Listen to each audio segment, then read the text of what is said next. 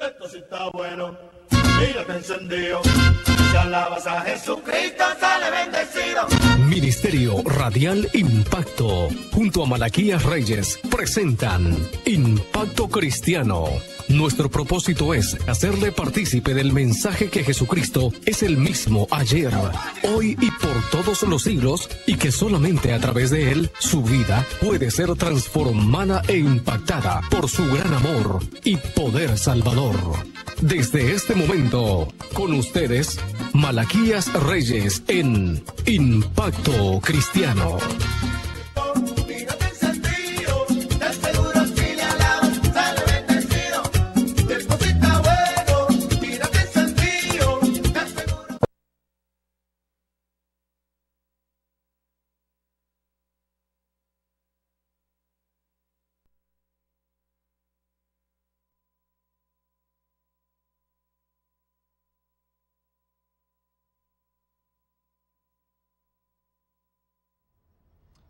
Hello, my name is Joe Uris, and we have the pleasure today of having Representative Dennis Williams on the show today. Uh, tell us a little bit about yourself. You've been a state representative now for 17 years, and this year you decided to run for mayor. That's correct. Uh, wh- what motivated that switch? Well, Wilmington is in trouble. It's in serious trouble. And I looked at the field of candidates, and uh, I think it's going to take somebody who's going to have to have a strong relationship with Dover because the only way Wilmington is going to be able to get out of its dilemma, its structural deficit, and its crime problems, it's going to have to deal with the capital. It's going to have to work with the governor. It's going to have to work with the General Assembly. Uh, it's going to take a strong person who understands budgets and who understands state government as well as local government. It's also going to take someone who knows law enforcement. I have all those qualities, and that's the reason I decided to jump in. Great. Um, on law enforcement, Wilmington struggles with a crime problem. They have the third highest crime rate of any city the same size in the United States. What's your plan? You've, you've mentioned a bold offensive. Can you elaborate on what exactly, what measures you plan to put in place? Well, we're going to do police work. We're, we're not going to ride by corners where there's 20 or 30 people on a corner, where we know people are drinking, using narcotics, because once that happens, you know there's going to be a problem later on in the evening or as hours go by. People get agitated when people are high on drugs, people are high on, on alcohol. There'll probably be people on those corners with firearms. You have to keep people moving. You have to go out and work in the community and get an understanding what exactly is going on in the community. What we plan to do is we plan to go out, we're going to do an outreach program. We're going to look for people to come to the table, give up their guns, stop committing crime. We're going to give them all the social service avenues they need to get their life back on check. GED programs, job programs, job training. We will offer incentives to businesses to hire felons. But we're not going to let people run up and down the streets with firearms and having gun battles. This is not the way for people to live. There's senior citizens in our homes that are terrified. We know this for a fact. We're knocking on doors, we're talking to people. People are afraid to send their children to the playground. That's sad. That is truly sad. Children should be able to come home from school, go outside and play without a mother fearing something's going to happen to their child. I've talked to mothers, I've talked to fathers, and this is what we're getting. This is not Dennis Williams saying this, this is the community saying this. I mean, we've been pounding on those doors talking to folks. People are fearful, they're very upset. Uh, one lady told us that she runs when she gets off the bus as it gets dark to get in the house. That, that's just sad. And that's something a Williams administration, we're not going to tolerate that. And I know it's a lot of bold talking, but we will implement a program of crime fighting that, that, that will match any state, any city in this nation. We will have anti crime units out there, we will have patrol units out there, we will have police and community relations units, we will have meetings with the community, the clergy, the business folks. So no one can't say that we haven't reached out and offered an opportunity for everyone to come to the table to help us and bring solutions to us. Okay, and you mentioned the another problem in Wilmington was the deficit. How are we going to make ends meet? How are we going to make a more aggressive crime fighting plan in place as well as cutting costs, making sure they're controlled, making sure that that $6 million deficit next year isn't bigger in the year coming? Well, what we're going to do is we're going to hire grant writers, grant writers that's going to come in and write public safety grants. There's many public safety grants out there where you can get an anti-crime uh, unit paid for through a grant. That's one of the things that we will do. We will look at the duplication of contracts. We will look at a lot of things where we, the city, extended out, such as uh, draining fire hydrants and things of that nature. Uh, I don't know exactly what the cost is, but there's a lot of things you can do that you subbed out, you can bring in house, and you don't have to spend that extra money. we will look at all kinds of programs that will alleviate us constantly spending over and over again. And one thing in Williams administration, we will not have political patronage as far as giving people $150,000 contracts because they supported me. We're not going to do that because that continues the vicious cycle. Absolutely. Are there any crime fighting measures in place now that you would like to see removed? You have crime fighting experience, uh, extensive actually, crime fighting experience. Are there any ones there right now that just aren't working, that need to be out, that are costing the city money, that aren't doing their job? Well, first of all, if you have an undercover unit, uh, Vice Squad, if they're not buying narcotics undercover, you, you disband the unit. You don't need it. We will buy drugs undercover. We will start an undercover unit because that's what Vice Squad was created for. You will find out who's dealing in narcotics because you will be purchasing directly from those individuals. It, it, it won't be a hit and miss. You won't hit the, the, the, the, wrong house with a search warrant because you will know. Our officers will go in and buy the narcotics and, and they will know who they bought narcotics off of. We will have the address and we can go back and do a search warrant. But I look at the way Wilmington is fighting crime now and I think the leadership is inadequate. I think the leadership has been there too long. And what we will do, we will bring the community in also to sit down with us and look at their initiatives like they did when I was on the police force. A lot of people think always don't work. Always do work. You bring the clergy and the community in, we sit down with you, and we say, okay, uh, let's say 27th and Pine, we have heavy narcotics dealing. You might not want to get involved, but, but the church may say, I have 15 people who watch this every day. You can go out and interview them, but please don't bring them involved. All right, they say, okay, the Brown Lincoln, the guy loads it up with guns every day. He loads it up with, with, with narcotics we'll have surveillance out there. And when we start filming this and taking pictures, when we stop this gentleman with probable cause, it's right there. You have to have a link in the community. That's one of the things we will do. And, and the Wilmington Police will go back to the police academy and get extensive public relations training. That's one of my number one goals that we're going to do. Sounds smart. Um, all right. Well, moving on understanding that the mayor's office doesn't set policy on immigration, what is your immigration stance? Well, when people come to this country, this is a melting pot, and they work and they're not committing crime and they've been here for long periods of time, what are you going to do? Send everybody home? I mean, this is their home. Let's face the music here. A lot of people don't want to talk about this and they're afraid to talk about it. But you know what? We're all one people here, no matter what our stance is in life. We were talking about this in just a previous interview that I just gave. We got to stop worrying about drawing lines in the sand and pointing fingers. If we would all come together and do our part, this would be a much better world. Truly would. Now, people who come to this country, raise a family, get a job, they're not committing any crime, they're not bothering anybody. Why can't we give them citizenship? So, amnesty? Absolutely. Why can't we do that? What's the problem? There's a whole lot of people that came through Ellis, Ellis Island uh, with, with forged papers that weren't legal either. That's right. Sure. That's right. Speaking of just uh, good contributing citizens, we, um, Ms. Rivera here, specializes in reentry education.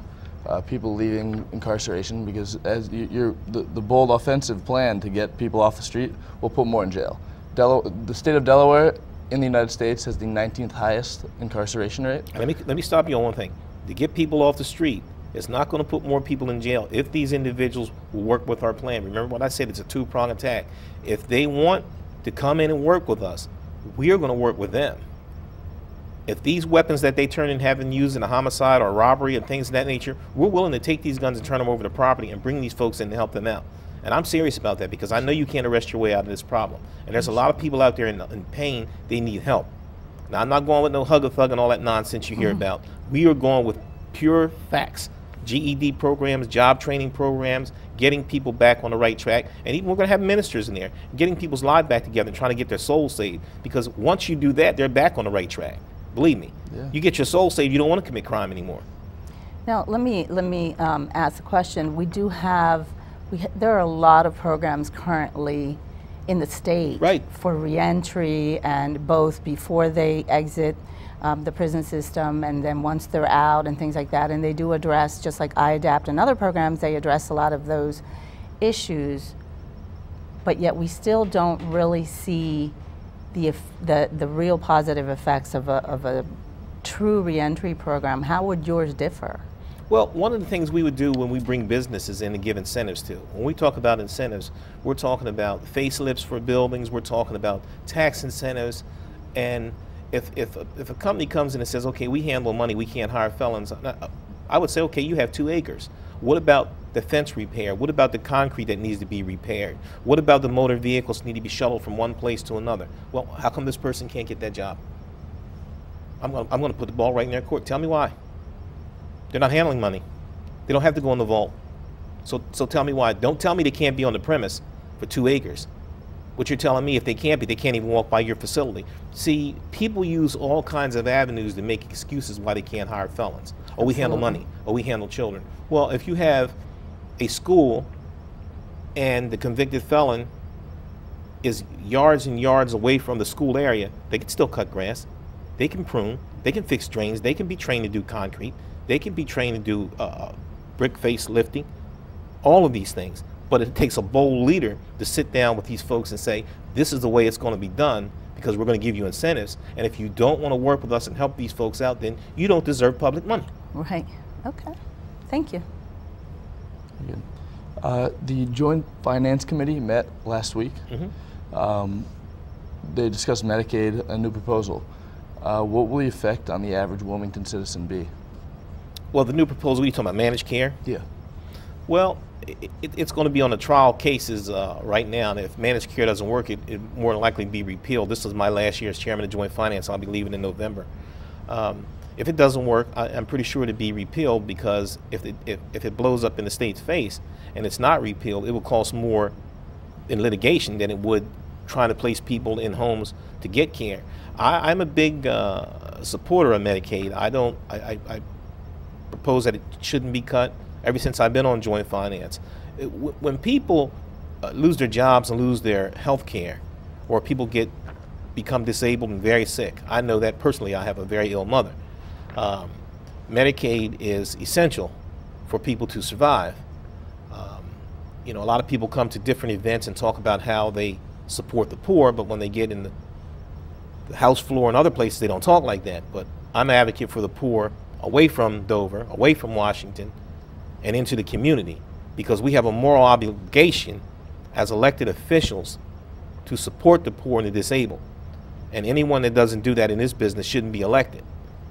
You know, one catastrophic injury to anybody in this room would probably put us all in the street. One major right. illness could put us all in the street. Again, I know because of a, a very ill mother, it's cost me thousands of dollars. But that doesn't matter to me it's my job to take care of my mother. And it's our job to take care of our citizens as elected officials. Well, I agree. It is an obligation. Uh, where where can that funding come from? You have a, a ton of experience in the as a state representative, uh, seeing how Delaware works. Where are some areas we could use cuts, money, funds drawn for programs like Medicaid? Well, capital programs, uh, some of the capital programs where we, we want to rebuild the infrastructure.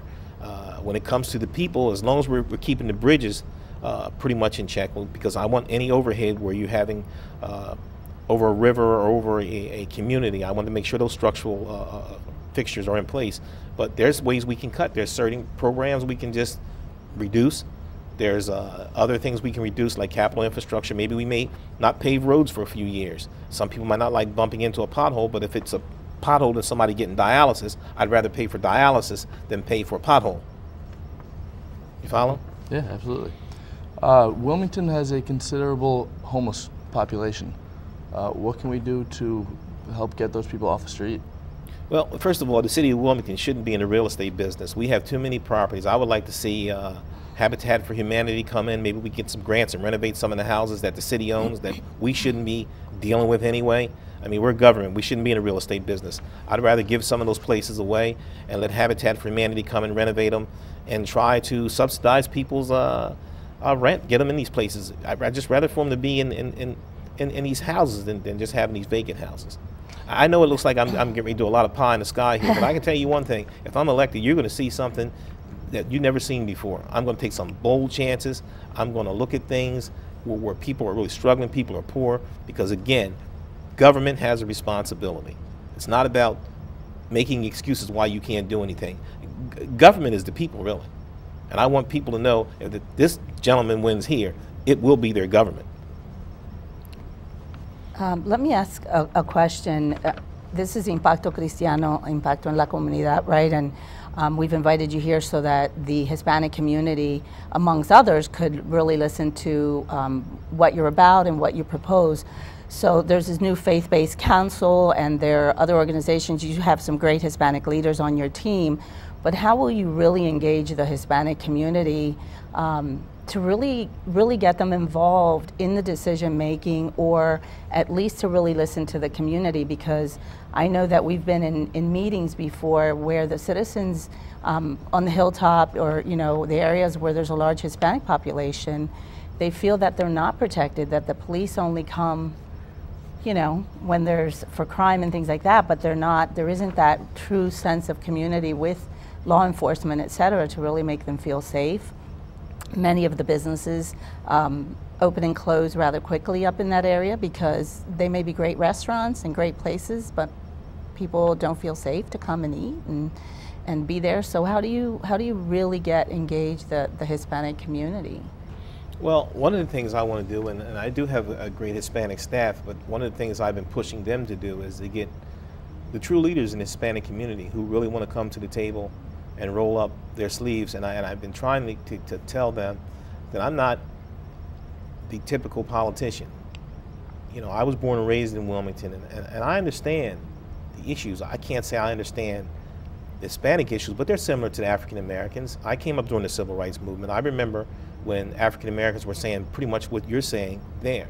I believe you start with people from the community being in leadership.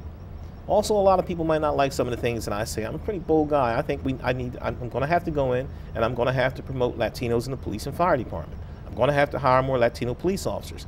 Uh, people say that doesn't work. It does work because when an officer can get out of the car and speak Spanish, if that Latino community trusts that Latino police officer more than he does a black officer or a white officer, that doesn't matter to me.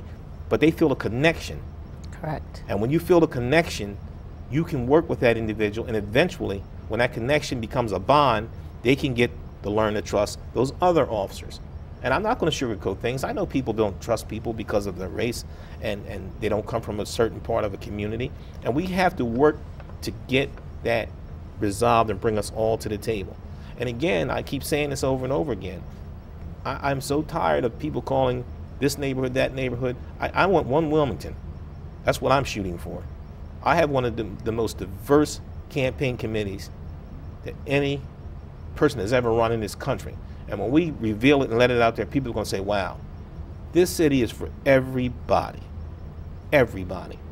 And all the players that come to the table, if you're not coming in with solutions and you don't want to be a part and work with us, you're wasting your time coming And if you just want to come in and shout and jump up and down and point the finger. We're not about that. We want help. We want you to help us make this a better government. That's why we're bringing everybody to the table. I don't care, white, black, gay, straight, Hispanic, doesn't matter to me. We're all people. And that's what I want at the table. That's what I want in the room. I'm not window wizard. I need a good group of people to help me govern this city. That's what we're looking for. Great. What aspects of your policy could a high school student uh, come in and, and give you some influence? How, how would I reach you? How would I, let, let's say it's me. I, I'm, I'm particularly interested in crime in Newark. How am I going to contact you? Uh, can I email you? Will you email me back? Now you talking about my state legislative I'm, role? I'm talking about if elected mayor. okay, if elected mayor, I really, I really wouldn't be paying much attention to the crime in Newark. No, yeah, no, yeah, Wilmington. Okay. Sorry. Well, yeah, we, we, we're going to have an open door policy every Wednesday. Also, we'll, we'll have website that'll stay up. We'll have three or four phone numbers where people can call, and we'll have an open door. Uh, the mayor's office will be open. There will be none of that stuff where people can't come up to the ninth floor to see the mayor. I think that causes alienation. Once you start to alienate yourself from the community and your constituency, you've lost the battle right there because people don't trust you. And we're, we're, we're planning on doing uh, several things. A lot of a lot of my team doesn't know this yet, but they better get used to it. They're going to be mentors. We're going to show that why other city employees should be mentors. We're going to roll our sleeves up. We're going to mentor children in schools. We are going to go into the schools and mentor kids. We're looking at bringing back an education department. I know a lot of people are going to say this is a waste of money, but when you have this type of dropout rate in the city of Wilmington, we have to reach out and find out why our kids are not doing, not doing well. We need liaison officers going into schools, meeting with superintendents. I will be meeting with the superintendents as much as I can. If I don't do it, someone else from my staff will. We have to stop this dropout rate. We have to get into the homes to find out what the problems are. Because when kids don't go to school, kids come out hostile, kids come out upset and sad. There's something going on in the home. And we're looking at putting teams of social service workers together, not to take children away from their parents, but we would like to go in and find a loving relative. If that mother or father or aunt is having some difficulty with narcotics or alcohol, to try to get them into a program and get that child to a loving relative until the house becomes stabilized. It's the only way this is going to work. I do want to add that uh, Dennis does have a open door policy now. Uh, you can meet with Dennis Williams at uh, Evelyn's Soul Food um, every Wednesday. Every Wednesday. Every Wednesday at 9 a.m. to talk about your, uh, your issues, and so he can share uh, his platform. So he, the open door policy is not when he becomes mayor, but right now he is doing it as busy as he is. Every Wednesday at 9 a.m. you can go to Evelyn's Soul Food at uh, what is that 13th and 15th and Market. 15th and Market at 9 a.m. Just walk in if you have a question. If you're if you're timid or shy, write it down, your name, address, phone number, and he has put uh, the you know the, the gavel down for us to make sure that we do our job and respond. Uh, if he can't respond, we will respond right away to any questions or concerns that you have regarding his platform and what are the issues that are important to you. Also, you can get more information uh, if you go to www.williams4wilmington.com. If you go on that website, there's a section for you to put your input, ask a question, you can volunteer, you can uh, make a donation or request uh, to be a part of the team somehow. And we have an open door policy in Dover also. I mean, we're open. My office is open. I tell people if I'm on the floor, you can go in my office and sit down and wait until I get off the floor from debating a bill and come back. We can talk about your issue. That's great. I think that's really important. Um, and actually, apathy is an issue for young kids um, and young adults, uh, for the community here, obviously. Uh, can you explain why it's important for us uh, to get involved, for everyday people to get involved in the policies, in, in talking to you and explaining how we feel? Uh, why, what makes that important? Well, if, if you want change and true change, and you really want to see young people get involved, you want to see our most vulnerable protected with Medicaid, you will support a Williams administration. I mean, we are going to be there. My record has always been, I've always been an advocate for the poor. Even before I was elected, when I was a police officer, I defended female police officers. You go back and people will tell you that Dennis Williams has always been a little different. When I first went on the police force, it was extremely male chauvinist. And, uh, you know, I didn't like the way female police officers were being treated, and I, and I stepped to the plate. I didn't like it. I mean, some guys wouldn't say anything and thought it was funny. I never thought it was funny. My grandmother was a dominant factor in my life. And never let anyone change your character. Be who you are. I'm always going to be who I am. Some people say sometimes I'm a little brash, I'm a little pushy, but I can tell you one thing I have a heart of gold. I care about people. I understand situations when they're bad. I have stepped to issues that a lot of people run away from.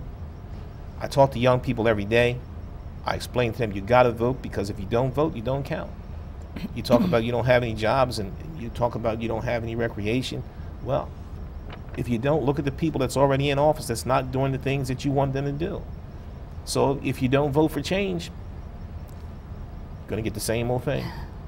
Well, we're, we're um, coming up to the end of the program. First of all, I want to thank you so much for joining us today. Um, we're, we're inviting different candidates to come and join Impacto Cristiano, whether it's on radio or television, so that we can understand. And it's important for the Hispanic community to come out and vote and really be an influence. Um, this year and choose your candidates and learn and Yes. really get educated. Um, thank you, Nancy, for joining us as well. You're welcome. Yes. If I have a minute, I do want to add that as uh, some Hispanics are currently independent, if they want to vote in the primary to vote for uh, Dennis Williams, they have to be one of one of the two parties, correct? They have to be Democrat. That you have to right, you have to change your party if you are independent. If you're not independent in the state of Delaware, you cannot vote in the primary election September 11th. The the deadline to change your party is May 25th. So if you need information, uh, you can contact us or contact the Department of Elections. Thank you. So you guys are welcome again. to come to Dover anytime you want to. Believe me, come Thank down. you. Come down, watch some of the debates, watch some of the committees, and you can come to my office and I'll, I'll show you around, watch some of the live debates. Really, get a chance to come down. Thank you. Thank you very Thank much. you. And thank you for everyone that tuned in today and is watching the program. Uh, we hope that this session has been informative for you. Get more education, find out more about the candidates. This is Impacto Cristiano. I'm Danette Rivera, and with me today was Joseph Yeres, who is one of our interns at the University of Delaware. Um, and thanks again, and we hope to see you again at our next show. Thank you. Serio Radial Impacto, junto a Malaquías Reyes, presentaron Impacto Cristiano. Agradecemos por su sintonía y les invitamos para que el próximo sábado nos acompañen en una edición más. Si tiene comentarios, sugerencias, peticiones o testimonios, escríbanos al P.O. Box 30024 Wilmington, Delaware 19805 o al correo electrónico mreyes63004 arroba aol.com. Y no nuestra línea telefónica 302-377-0403, 302-377-0403. Hasta una próxima edición.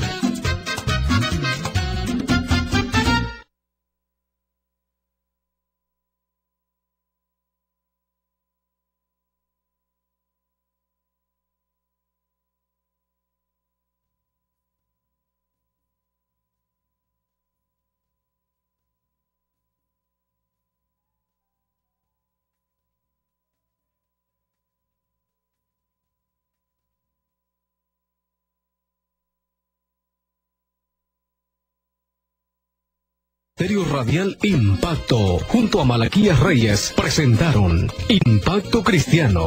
Agradecemos por su sintonía y les invitamos para que el próximo sábado nos acompañen en una edición más. Si tiene comentarios, sugerencias, peticiones o testimonios, escríbanos al P.O. Box 30024 Wilmington, Delaware 19805 o al correo electrónico mreyes63004 arroba aol.com. Y no nuestra línea telefónica 302-377-0403, 302-377-0403. Hasta una próxima edición.